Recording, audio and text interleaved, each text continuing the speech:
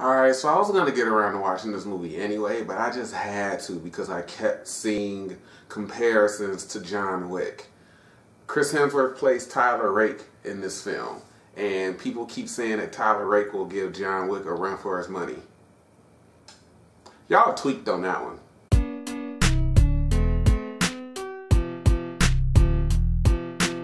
What's up guys, this is Courtney, one half of the Russ Deconstruction here, and I'm bringing you my review for Extraction.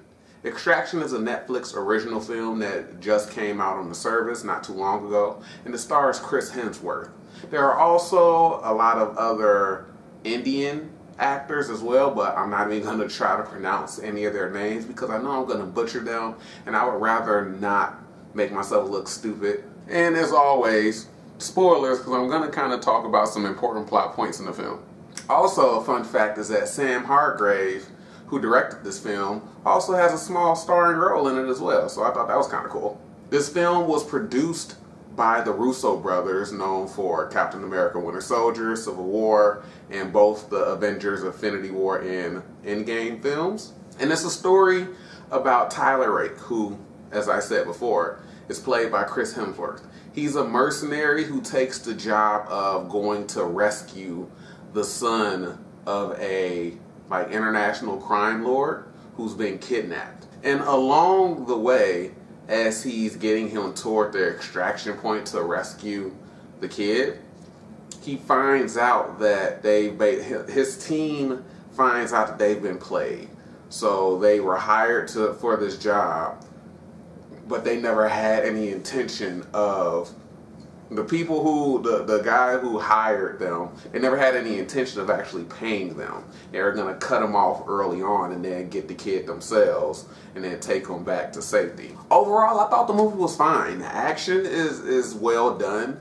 I think that's probably why it's been getting so many comparisons to john wick because there are a lot of gunshots being fired in this film and it's some really cool action sequences. Again, I wouldn't say that Tyler Rake is on par with John Wick, but I can see why people would think that because anytime there's uh, I think John Wick kind of changed the landscape for how action is filmed, gunfights, I should say, are filmed because whenever there's going to be like a gunfight, so close quarters combat with guns, people are going to compare it to John Wick because it was done so well in the John Wick franchise. But here, I think while a lot of the action is good, I wouldn't put it on par with John Wick. Now, one of the standout scenes in this film is this really long car chase sequence that's, I think I read about 12 minutes long, and it's really good editing in the sequence because they make it look like it was one continuous take, but you can tell and there's even uh, I think on the Russo brothers Instagram page, they have a video of them talking about filming the scene. They filmed it in parts where they can mask edits and cuts, making it look as if it's one take. So I think that's a really impressive feat. And the sequence itself is really, really good. But overall, I think a lot of the acting is well done. Chris Hemsworth is good in the role. He doesn't have to put on some weird American accent. He uses his native Australian accent. I think Chris Hemsworth does a really good job playing Tyler. And you can see the pain and the anguish on his face due to the backstory that we find out about his son. His six-year-old son uh, died of lymphoma. And, you know, he left and took a mission so he didn't have to watch his son die like that and he plays it very very well. You can tell early on that this dude has a death wish, and you can you can kind of see or kind of understand why. But at the end, it's almost as if he's trying to redeem himself by focusing on the kid because there are points in the story where he's told we can get you out but you got to leave the kid behind and he doesn't and he says it's because of the money but i think ultimately he's trying to redeem himself for what he did and not being there for his own son. A lot of the other actors and actresses of the film do a good job as well. David Harbour has a small cameo in the film. I don't want to say cameo. He has a small part in the film where uh, his character and Tyler get into a fight because he's he's kind of in on not in on it, but he decides, hey, the guy that wants the kid is paying me ten million dollars.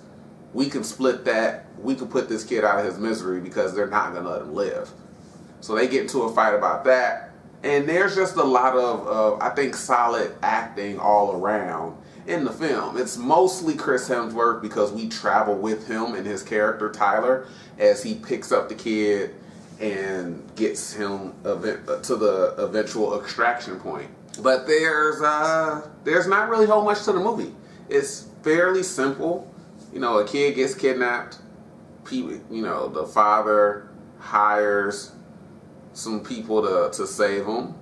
He screws them over in the process, and the kid is still saved. Now, at the end of the film, Tyler essentially gets his wish. He gets uh, killed, or so we think, because while um, Ovi, the name of the of the kid who was kidnapped, he does he jumps into this pool. The the movie ends the way that it began. We get a shot of Chris Hemsworth like waking up, jumping into this ocean or this uh, lake, whatever, this body of water off this cliff, and he sits at the bottom of you know wherever he is, and he's just sitting there, kind of meditating. I don't know if he's trying to drown himself or not, but the ending of the film, Ovi does the same thing. He's at the pool, he climbs up, jumps off, does the same thing. He's sitting at the bottom and then all of a sudden he opens his eyes and then he goes to the surface and he looks over and in the blurry background we see somebody that looks like Tyler. Now when Tyler was shot, he was shot in the neck. He they were on a bridge. He leaned up against the bridge and then just let himself fall over into the water. Now something told me he's probably not dead. One because we just see his body hit the water. We don't see him actually die. And whenever you never see a body in a movie, you can essentially assume that that person is still alive. So we get that little tease of oh, Ovi gets out of the out of the pool, looks over, and then we see kind of this outline of this person that kind of looks like Tyler. So he might be alive. I don't know if this is supposed to be some franchise or not. I'm not sure. But it was an entertaining movie. Again, I wouldn't put it on the same level as John Wick, but the action is done really, really well yeah, guys, that's my review for Extraction. Hopefully, you guys like what I had to say about it. Again, it's on Netflix. It just got put up, I think, last week. I think it's worth a watch. The action is really, really good. I just wouldn't put it on the same level as John Wick. But there are some cool moments in the film, especially there was one reload moment that I had to double back and watch because I, I just don't know how the hell he reloaded that handgun like that. But yeah, Go ahead, check it out, guys. As always, I appreciate the support, whether it's one, five, ten, or 100 views, and I'll be catching up with you guys later.